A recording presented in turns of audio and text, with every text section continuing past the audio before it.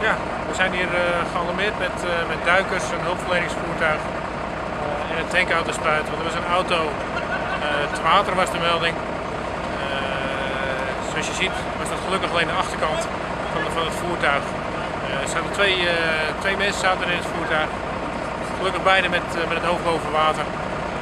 En, wij hebben ze eruit gehaald. En ze zijn met, de ambulance zijn ze naar het, naar het ziekenhuis om gecontroleerd te worden.